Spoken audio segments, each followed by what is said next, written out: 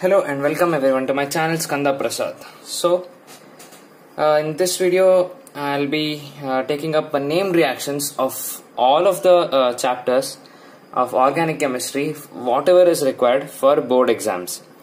Now, uh, in this uh, video, I'll not be taking up mechanisms of uh, any reactions, maybe here and there one or two, whichever is required and where there's a probability of mechanisms of reactions being asked. So, so only in those cases I will be taking up with uh, mechanisms.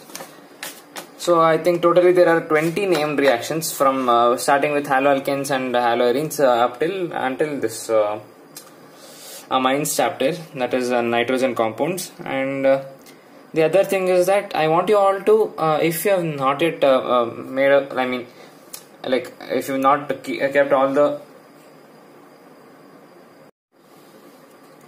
So hello everyone. I'm uh, taking up 20 reactions of all the chapters. I counted finally totally, and there are exactly uh, 20 named reactions from uh, starting from haloalkanes and haloarenes uh, until the nitrogen uh, co- containing compounds. And I've picked up each and every reaction, which are named reactions especially. And I'm I've not picked uh, reactions such as like diazotization or carbylamine reactions because these are uh, like they're pretty common reactions and you already know them. And uh, moreover they're not named reactions. So i've only picked name reactions such as the Swarts reaction finkelstein Wurtz fittig and uh, Kolbe's reaction etc and there are uh, a couple more sheets also. So we'll be discussing each and every one of them. And uh, wherever it's necessary i'll be discussing the mechanism because uh, i have a pretty uh, good idea where mechanisms can be asked so where and all it won't be asked, I'm not going to tell that. And probably for uh, competitive exams like JEE, NEET, and CET, uh, may not be CET, but uh, at least for JEE and NEET, I'll be surely taking up uh, named reactions uh, and explaining it with complete uh, mechanism. And uh, with that note, let's begin with this video. That is, the first reaction is Swarts reaction. So if you're studying for boards, I'm as I told you before, this video will be completely in, in a board's point of view, and so uh, what I want to tell is that the spelling uh, makes a, a, difference actually. You can't write Swarts as something like I, used, I had written it before Schwarz or something like C uh, CH or CZ. So, uh, don't uh, uh, like mix up the spellings. Swarts reaction that is very important because there is a chance that the teacher might cut. I mean, whoever is evaluating your paper might cut marks for even spellings. I have seen that. So please don't do it and remember the spellings properly. Now the reaction is just nothing but interchanging of the uh, halogen that is CH3Br plus AgF. AgF is I mean uh, is the compound uh, which has the, uh, halogen here and uh, there's a halogen here also. Let's call it X1 and X2 the halogens. X uh, X2 takes the place of X1 and X1 takes the place of X2. That is the only reaction. This is a very simple reaction. There's no need to worry about it. Just remember that wherever you see AgF, the reaction will be Swarts reaction and there should be an interchange of halogens. And the next is uh, something similar, but instead of uh, Ag, we have uh, sodium. That's it. Now, same an alkane, I mean haloalkane is taken, and along with that we have NaI. So in this case, instead of AgF, we have NaI, and we need a uh, medium uh, for this reaction to take place and that is diacetone so the same thing happens i comes here and x comes here so nx plus ri and that gives uh, uh, this these are all the preparation i mean uh, preparation of a different haloalkane from another haloalkane that is the only difference. Now this was the other reaction. Uh, this is finkelstein reaction. The next one is Wurtz reaction. Now this is a, a question which i mean maybe can be asked for either one or two marks. Pretty important also. So this uh, we have two moles of an alkyl I mean alkyl halide that is a haloalkane and we make it to react with sodium in, in, the presence of dry ether. Your teachers must have told you umpty number of times but still you need to remember all the conditions that is sodium in the presence of dry ether. Remember uh, sodium uh, bromide from here you will get uh, 2 moles of NaBr and whatever is left you have to just uh, join these two. Yeah, there are 4 carbons and there are no uh, double bonds or triple bonds so hence it is an alkane and the alkane is called as N-butane since it is a straight chain and uh, the next compound i mean the next reaction we have is fittig reaction. Now it is something very similar to uh, Wurtz reaction but the only difference is instead of uh, haloalkane we have a haloarene right? And this case uh, we have benzene uh, along with a i mean a halogen. And the same reaction happens. Instead of 2 moles of haloalkane we have 2 moles of haloarene and we make it react with sodium in, in the presence of dry ether and we get a diphenyl or biphenyl. Both are same. You can write any one of them. Here uh, these two uh, alkyl parts got joined and here two uh, benzene rings got joined and it is called diphenyl or biphenyl. It's completely your wish. Whatever you want you can write. Now there is another reaction which I'm not discussing here which is called as Wurtz uh, Wurtz Fittig reaction. That is nothing but where, where you take a one mole of uh, uh, haloarene and uh, another mole of uh, haloalkane and you uh, take the same uh, medium as a dry ether and uh, you make it react with sodium. Then you will get something similar to this compound where uh, the benzene ring along with whatever alkyl uh, group you are taking that is R. So this is the compound you will be getting finally that reaction is called as Wurtz-Fittig reaction. Uh, since it's uh, pretty much easy I am not uh, I have not uh, written it specially. So we are done with the four reactions technically five. Let's go let's go to the fifth one now. Uh, Sandmeyer's reaction. This is a pretty important question. Maybe asked in like in five marker question they can ask it as a, a, a sub branch of the of the question itself. In this case we have this is uh, a benzene ring with uh, N2 plus and Cl minus, right? And uh, we are making it to react with CO2, Cl2 in the presence of HCl, and where in this case uh, N2 gas, this N2 molecule will take up this bond pair of electrons from here, and it will uh, leave as uh, N2 gas, which I have written it here. And we are left with uh, chlorine. Here, a positive charge will come on the benzene ring, and the Cl minus will attach on it, and finally give us an haloarene, right? So this is a preparation method of uh, chlorobenzene. You can remember it. This compound is called as chlorobenzene. Benzene. Now, the next uh, reaction is Williamson's ether synthesis. Still here, uh, our uh, chapter was. I'm sorry. Uh, yeah. So for, till here we had the chapter of haloalkanes and haloarenes. From uh, this reaction, that is sixth one, we start with alcohol, phenols, and ethers. So the first reaction is nothing but ether synthesis. So this is a very pre a pretty easy reaction. There's uh, nothing to worry about. We take a alkyl halide and we make it react with RONA, right? And this is alcoholic medium because this is uh, derived from this compound is derived from. Let's say take a compound of ROH and we make it react with uh, any compound of sodium. And in this case, H uh, H uh, leaves and uh, Na replaces the hydrogen atom and we get RONA. So originally this was alcohol, right? So medium is maintained to be alcoholic, and all that happens is uh, this bond is broken and uh, this R attaches in place of this Na. We get R dash O R R or uh, we can also say ROR dash plus NaX. That's it. Just a direct substitution reaction. There's no uh, no much uh, rocket physics involved in this. Not much. I'm sorry. So the next reaction is Kolbe's reaction. Kolbe's uh, reaction is uh, pretty important. Can be asked uh, for any number of marks, maybe two or three. Or I'm not sure whether this uh, chapter is there for three marks. But even in five marks, this can be asked as a sub question. So we begin with uh, phenol and we make it react with uh, NaOH. And what happens is uh, this Na plus will replace hydrogen as ONA, and this becomes an ionic compound, ionic molecule. And now we add carbon dioxide gas and I think it's solid carbon dioxide. I don't remember. Please check this what kind of uh, carbon dioxide we use here. I'm not so sure. So this uh, CO is, comes and attaches in between uh, this Na and uh, the benzene molecule. I mean this uh, cyclic molecule. This is CO2. And uh, how did we get this Na? From this excess of NaOH. We have taken in excess. So from this uh, COONA, here also there is an ionic bond, O plus and minus, minus and plus. Now all you have to do is just add some acid, directly some acidic medium if you just uh, mix this, uh, this Na plus will be removed and in place of that H will go and attach and you will get OH and C double bond O, H here, H here which is called as salicylic acid. This is very important, right? This uh, compound is called as salicylic acid and you have to write the final answer that and the compound which we finally, uh, finally obtain is uh, called as salicylic acid because that contains marks. So this was our seventh reaction and we are done with one sheet. Let's move on to the next one. So the eighth uh, reaction is Reimer-Tiemann reaction. This is also very important one. Can be asked for uh, two marks or uh, let's say even five marks as sub question also. So begin with phenol again here and we make it to react with CH3, CHCl3 and this is called as chloroform. You know that right? And with NaOH we maintain basic medium.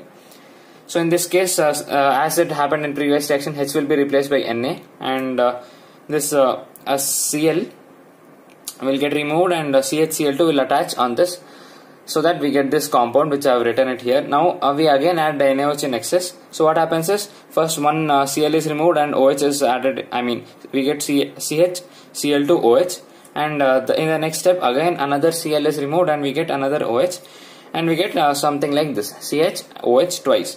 Now all of you have studied chemistry till now. Your teachers must have told you uh, many times that uh, two OH groups on a single carbon atom is really very very unstable. So what happens is um, a water molecule gets removed in this form and we get C double bond O and uh, H that is uh, an aldehyde group and uh, again we add an acid, uh, acid and H plus in the form of H plus ions and this Na gets replaced by H and this is called as salicylaldehyde.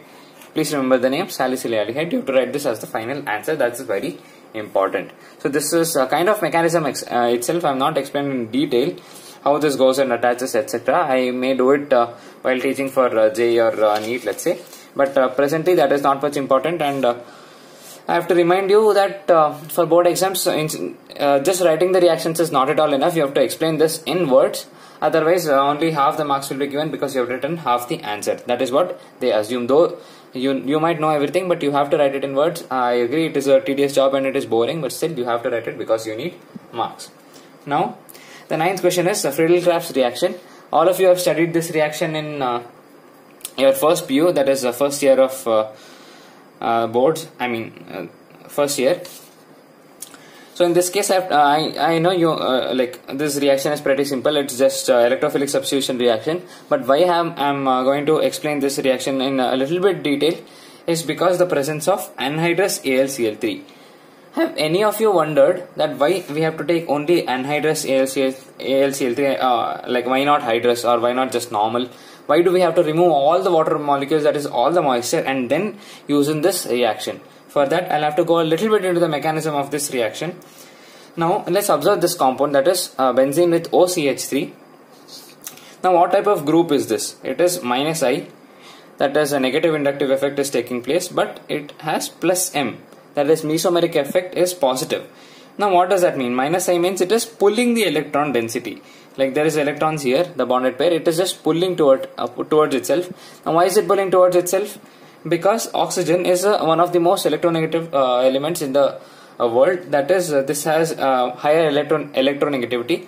So it has a tendency to pull. That is why it is showing minus i effect. Now why is it showing plus m effect? What is mesomeric effect? That is donating a pair of electrons to the group right? Now where is this pair of electron? Obviously it is on oxygen right? There are two pairs of electrons.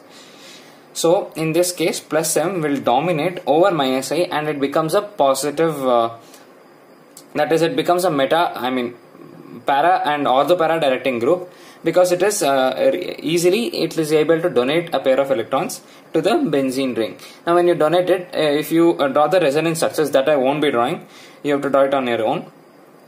The negative charges will appear only in these positions if you observe. Right? Why we are talking about negative uh, charges? That is because this reaction is an electrophilic substitution reaction right? Electrophile has to come and attach. Where will it attach?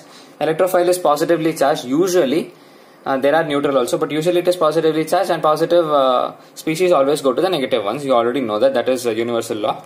So in that case we are, we are supposed to talk only about these positions. That is uh, ortho position and para position. So for that uh, in this case from where this from where will this electrophile come? That is what we have to think. So for that we have this compound that is I'll just draw the structure CH3 C double bond O Cl now how will a electrophile come in uh, from this molecule? That is you know that a bond has to be broken here and you'll get a negative and a positive.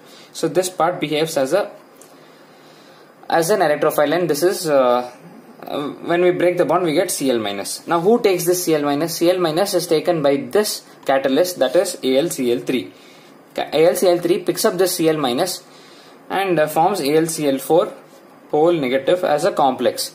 Now why this happens? For that we need to look into the um, properties of AlCl3. Now what is AlCl3? What do we usually use it for? You know that it is uh, its structure is something like this, right? Al, Cl, Cl, Cl. Now there are only three bond pairs, whereas for stability we need uh, four bond pairs. That is, we need eight electrons, but it, it, has only six electrons. So it is an electron deficient group. You know that, right? It is a Lewis acid. It is Lewis acid. Now, what do Lewis acid need uh, to uh, make itself stable? Lewis, it is called as a Lewis acid because it has the ability to take a pair of electrons from any species. It need not be only Cl minus. All this uh, Lewis acid needs is a pair of electrons so that it can fill its octet, right?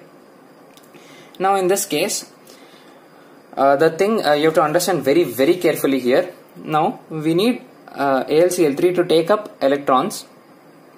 But our main objective is to generate a electrophile right? We need electrophile so that this reaction happens and uh, there's a substitution at this or this place that is we need the generation of uh, electrophile. Now how will electrophile be generated? When this bond is broken. When will this bond be broken? When cl minus uh, cl leaves as cl minus. When will cl leave uh, cl minus? When this gives uh, its uh, electron pair it takes up both the electron pairs and gets a negative charge.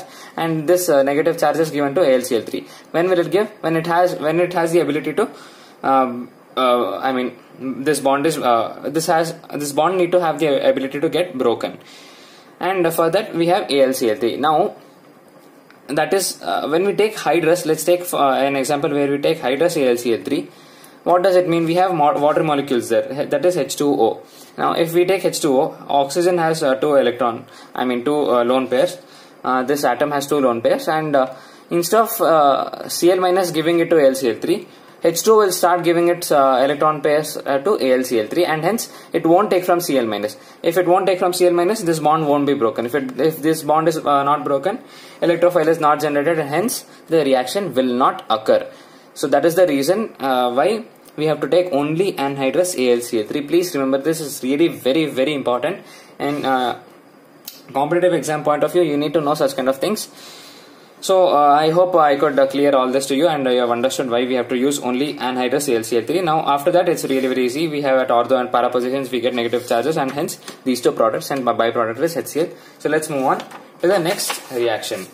I think I took a bit of uh, too much time in explaining these but uh, nevertheless I think it was uh, really very important to you and let's move on to the next one that is 10th reaction. We are going to discuss about we are not going to discuss about Lucas reaction because I've already made a special video on it. I guess it's just a 5 minute video. I'll give you the link of the video in the description. I've explained why the uh, Lucas reaction happens and what is the need and uh, what and all happens also and exactly what is the cause and reasons behind it. I've explained everything properly in just 5 minutes. Please go and watch that video. And uh, uh, with that note, we'll move on to the 11th question. This is very important from in, in this chapter that is alcohols, phenols and ethers because uh, this has been asked many times like how do you differentiate between primary, secondary and tertiary uh, I mean uh, I mean I what, are those compounds like RCl. These are the how do you differentiate between all of them. So you have to take a Lucas test and do it. And uh, for that as I told I made a video please check it out. Now the 11th question is Etard's reaction uh, not so much important but uh, it may be asked for uh, one mark. They'll just give you this reaction and ask what is Etard's I mean what is the name of the reaction? Or else they'll give you the name that is Etard's reaction give you the ask you to give the reaction. So it, will just be a one mark question. In this case we are taking uh, we, we, start with toluene. We make it react with the CrO2 Cl2 this is called as chromyl chloride, chloride. please remember this chromyl chloride. And uh, the reagent uses CS2 uh, in the presence of an acid in water. That is acidic medium is taken. So, so that finally we get benzaldehyde uh, this was the only reaction. This uh, compound is called as benzaldehyde. Let's move on to the next one. We are done with 10th, 11th. The next one is uh, pretty much important. This is Rosenmann's uh, reduction reaction. I've picked a few reduction reactions so that you're uh, you're very uh, thorough with the reduction reduction reactions. I have taken, I guess, totally four. I guess. I mean yeah three reductions uh, reduction reactions. So let's begin with the first one that is Rosenmann's reduction reaction. In this case we start with uh, benzene with COCl this is an acyl group.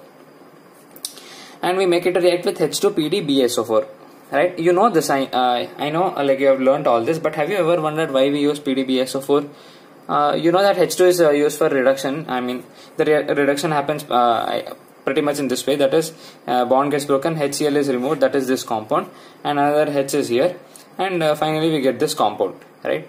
That is what is the uh, final answer. But uh, what's so great in this? Uh, only H2 was enough right? Why do we have to use PD H2 I mean with PDBSO4 the reason is that PDBSO4 acts as a negative catalyst. Negative catalyst. Now all of you have heard of what is a catalyst it changes the rate of the reaction. I, I would like to say change, not increase, because catalysts are of two types positive and negative. positive always increase the uh, rate of reaction whereas negative catalysts decrease the rate of reaction. Now why do we have to do it? Usually h2 gas is taken pretty much in excess amount. Now if you just uh, without adding uh, PDBSO4 if you just add only H2 now uh, this HCl will be removed and uh, we get uh, aldehyde. Further uh, reduction will take place. This again a bond will be broken and H and H will be added. We get CHOH and again uh, one more will be broken and we get CH2 I guess something like that happens. Uh, no we get CH2OH I mean we will get an alcohol which we don't need. We only need aldehyde so for that we have to uh, slow down the reaction right? So that we can just uh, separate out our benzaldehyde from the uh, reaction mixture and uh, so that that is our final product uh, which is required. That's why we add a negative catalyst that is PDBSO4 which reduces the rate of the reaction. It makes it slow so that you can pick out only benzaldehyde so that is why we add this. Please remember this. That's also very very important. And uh, the your evaluator might feel happy if you write this in the answer if at all Roden, Rosenmann's reaction comes. Please write this also though it may not be required and uh, maybe somewhere where you might lose he might uh, be a little more uh, sympathetic towards you because you have written extra stuff and he might give you marks somewhere else where it was supposed to be cut those are the chances you, you can take but explain properly so that is what i ask of you now the 13th reaction is uh, Stephen's reduction reaction. Uh, so we start with R, C triple bond N. This is a nitrile.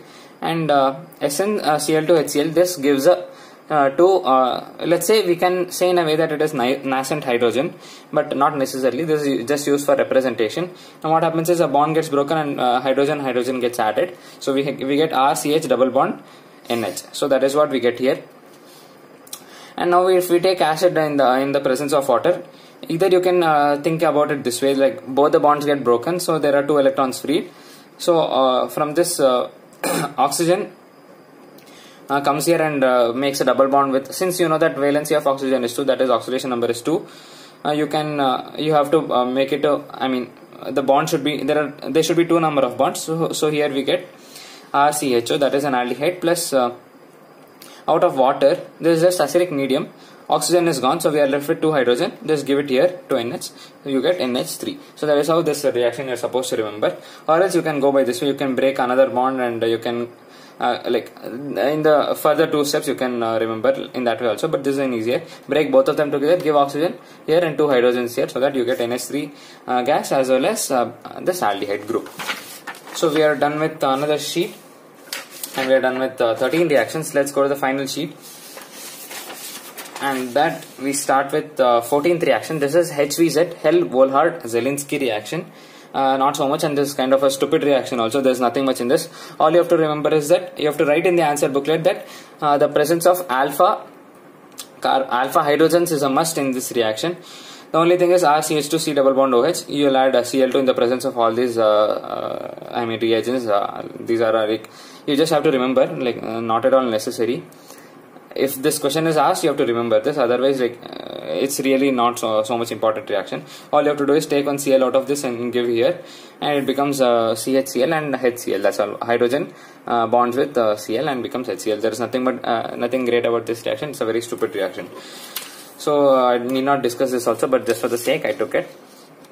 So the 15th question is Gattermann-Koch reaction. Again, not so much important, but uh, still, you, I have taken this reaction just to make you remember these reagents which are used. It is carbon monoxide, HCl, anhydrous AlCl3 again and CuCl. I'm not going to uh, explain the uh, mechanism for this reaction only just so that your ears can uh, hear. I mean, your, ears need to be filled with this reagents. That is the only reason which I took this. Even I had to like mug it up. I didn't have any other way because even I learned all this during the last days. So That's all. That's all I wanted to say from uh, Gattermann-Koch reaction. It is used for production of an aldehyde that is benzaldehyde. That is another way uh, you have to remember and you have to write this all in sentences. That's what I ask of you.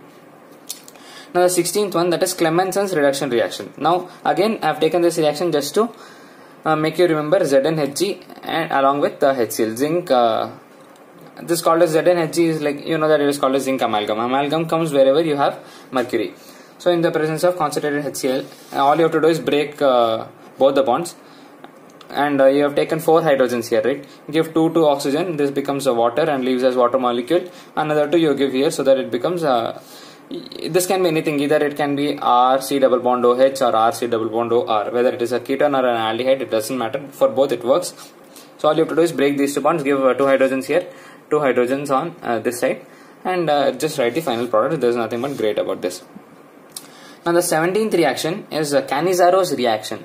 Now if you just observe like on the surface level if you see this reaction you, you have taken a aldehyde that is benzaldehyde and you are making it to react with NaOH there's a pretty much uh, uh, big mechanism for this but I'm not going to explain that. If you see the products you might remember uh, I mean you might uh, ask like how do you remember these two products? Why only these two products will come? Well for Cannizzaro's reaction as well as uh, aldol condensation reaction whatever it is not aldol uh, condensation only for Cannizzaro's reaction I'm telling this aldehyde will undergo both oxidation and reduction in the uh, same step. I mean, in the same reaction, both will happen. That is oxidation and reduction. If you observe, CHO, when you oxidize this, you get a, when you oxidize aldehyde, you know you will get a carboxylic acid. So here we have a carboxylic acid, only uh, Na is present instead of H. That doesn't matter. Na is a spectator ion, it doesn't uh, do any changes.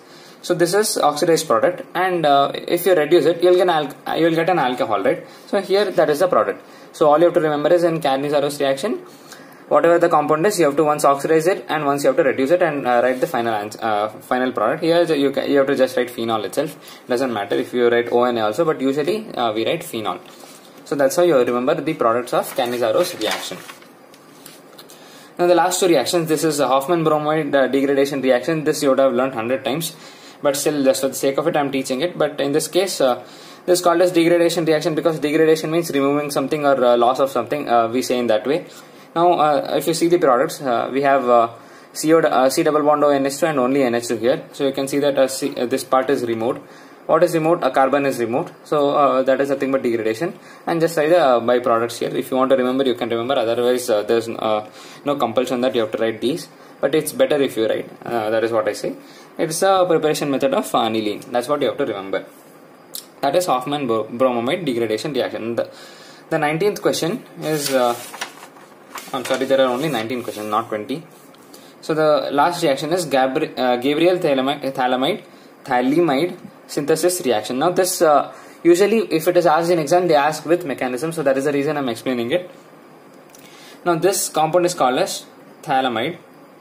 Thalamide and uh, I'm not so sure whether it is thalamide or thalamide. Please may uh, just confirm it. Uh, I'm forgetting forgetting it now. So the first step we add the KOH that is potassium hydroxide. Now what happens is you know that K, KOH has K plus and OH minus. Now this K plus replaces this hydrogen and it becomes N, N minus K positive.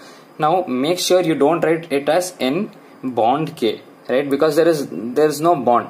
Bond is always repre- represented represented when uh, there is an electron pair that is there is a sharing of electrons. But potassium never shares it uh, its uh, electrons it always gives it away. So you are, you are always supposed to write uh, n minus k plus. Although if you write uh, people will give you marks there is no problem but uh, make sure you don't write it because that is not the correct way. This is the correct manner. N minus k plus so for that we add uh, an alkyl halide that is CH3X. This X again uh, combines with the K and uh, it becomes KX that is uh, let, let be KCl or KBr or whatever. So that gets removed and again in the place of uh, this we get CH3. This is CH3 positive and X minus. So CH3 positive attaches with this nitrogen and here in this case there is a bond. If you have observed I have written a bond here. That is very important.